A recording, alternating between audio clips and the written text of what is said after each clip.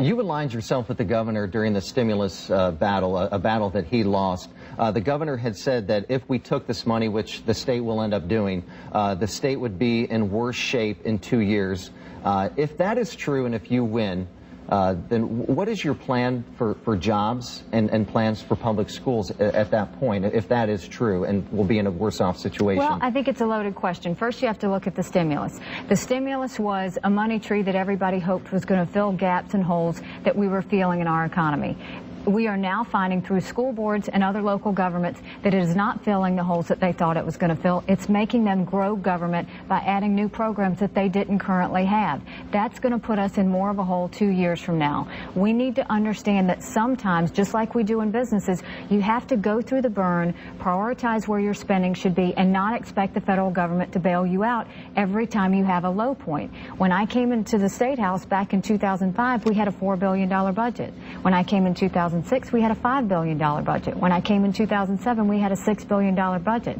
We grew a billion dollars a year, yet we can't tell you where that money went.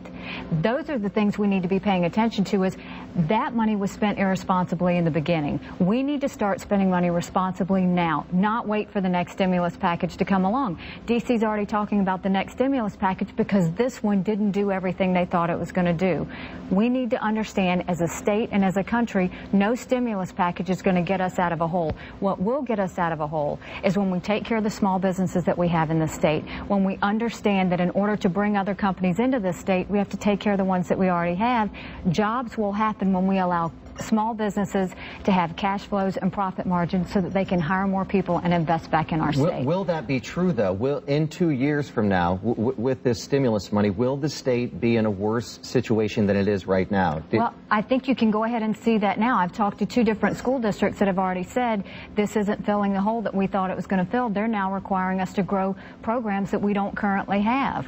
What we need to understand is instead of that, from an education standpoint, rather than looking for stimulus to bail out our students. We need to look at the fact that we're spending $12,000 per student. It's having to go through 1,000 people through the Department of Education in 85 school districts before it ever touches a teacher in a classroom.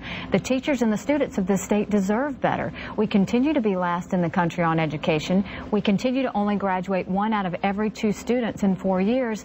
It is obvious that money is not the problem. What we need to be doing is reforming our education funding formula because we're not funding students equally across the state we're only funding them based on where they happen to live and where the property tax base is high. Let's talk about let's talk about jobs. Uh, several of the candidates that we've already had here on Newswatch, uh, uh, their platform is jobs. Absolutely. Um, is, is, that your platform, and and what is your focus on jobs? Are there specific industries that you feel could come into the state and, and do well? I think it's two sides. One, you have to take care of the businesses that you already have in the state. That is through an overhaul of tax reform. We have to make a tax system that's fair for everyone.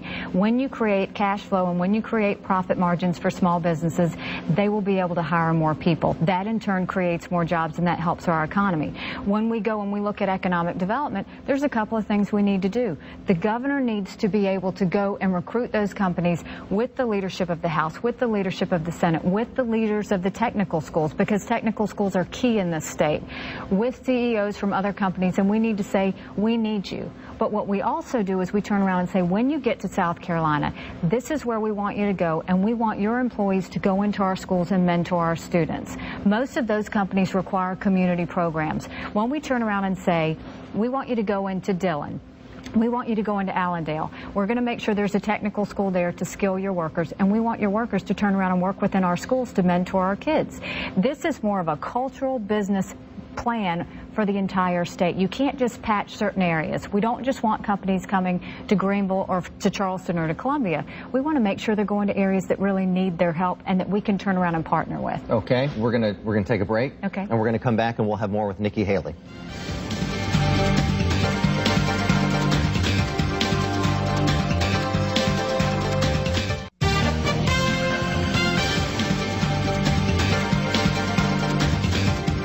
Welcome back to Newswatch. Right now, we're talking to Representative Nikki Haley about her candidacy for governor, and we actually had an opportunity to sit down with you uh, back a few months ago when you announced that you were you were running. Uh, let's go ahead and take a look at what you had to say.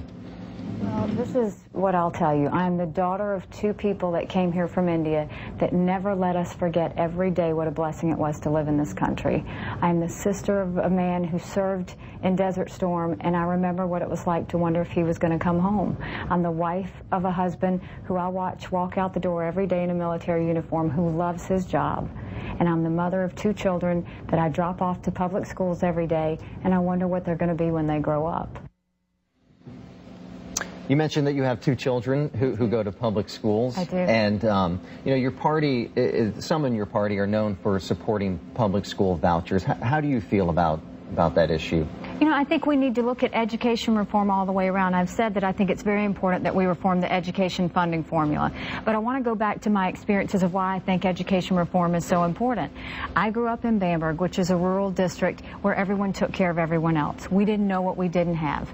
I lived in Orangeburg where they spent so much time on discipline that they didn't always have the time they needed to teach. And now I live in Lexington where every public school is like a private one. You can walk into some of the schools in Lexington and every classroom has a smart smartboard, which is a computer instead of a chalkboard. You walk into some of the schools like Allendale, they wouldn't know what a smartboard is. It's, there's something very wrong when we don't have equitable funding in this state for all children. So I do want to see the fact that we reform the funding formula. I do want us to look at choices for kids.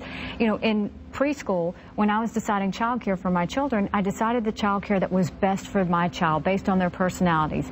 In higher ed, we're the envy of the world when it comes to college education, and we choose where is best for our children to go to college. Why would we not do that in the most important years between K through 12? Those are the years where we're losing our kids, and those are the years we need to make sure the parents are most involved, and we're doing as much as we can to make sure that they have the choices they need and the reforms that we need so that South Carolina can be on top of education and not have to struggle with the challenges of being on the bottom. So you're willing to, to look at least look at that, private school vouchers, or, or oh, absolutely. Or... I think we look at every educational reform. When you turn around and you look at where we are as a state, to not look at an education reform would be an injustice to the people of this state. When we are only graduating one out of every two children in four years, one out of every two. You can't turn your back on anything. We've got to look at what other states have done. Georgia has passed school choice. Um, they did it for children with disabilities. They had such a high success rate from it that they turned around and made it universal. What we need to do is look at other states, look at what has made them thrive, and see what we're not doing. I think to turn around and say we are for or against something blindly is an injustice to the people of the state, and I'll never do that. In business, you look at everything, and you try and see what works best for the people that you serve. This is very much the same thing for government. We have to go in with new ideas, be creative, be fresh, be energetic, and say, we're going to turn around and show the country what we can look like when we're on top. We just heard you uh, speaking about your parents. You're, yes. you're, you're, the daughter of two, two immigrants, an Indian American, and right. you, you have two children yourself and a husband in the military. How do you feel your story will resonate with South Carolina voters? You know, I'm very much like South Carolina. I was born and raised in a town where you couldn't think about doing something wrong without someone already calling and telling your mom. you know, it's you learn responsibility and accountability early. You know, when you are the daughter of immigrant parents, you understand what it means to be in a country that allows you the opportunities that you have. My mother was um, a judge in India but she wasn't allowed to practice as a judge because in India at that time you couldn't. Now I'm a female and I'm running for governor. Look at the differences in that. We are so blessed that I have the opportunity to do that. My parents taught us that the best way to appreciate your blessings is to give back. I'm a person of service. My husband is in the military. My brother fought in Desert Storm. I've got two children in public schools. I want the quality of life in this state to be good, and I want people to know what it feels like to trust their government. I want them to know what it's like to feel good about something. I don't want all the news that we've had had in the national headlines be what defines us. I want South Carolina to feel good about who we are, where we live, and what we're made of, and well, we're going to do that. Well, we've been we've been talking in the commercial breaks about how interesting and exciting this race will be, and uh, we wish you the best of luck ahead. Thank you very much. I appreciate it. Thank you. And coming up, what does the governor's scandal mean for the 2010 governor's election? We'll speak with a political expert about the indications coming up next.